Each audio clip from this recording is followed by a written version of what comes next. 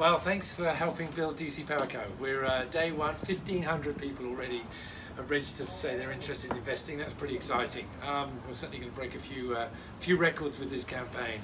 So um, we, you know, the first Australia's first customer-owned, solar-focused business. Fantastic. Thanks for being part of it. Um, check us out on, uh, I think, 7 News tonight. They're going to do a piece on, uh, on DC Power Co. And um, let's hope this is a really exciting future together. Thanks.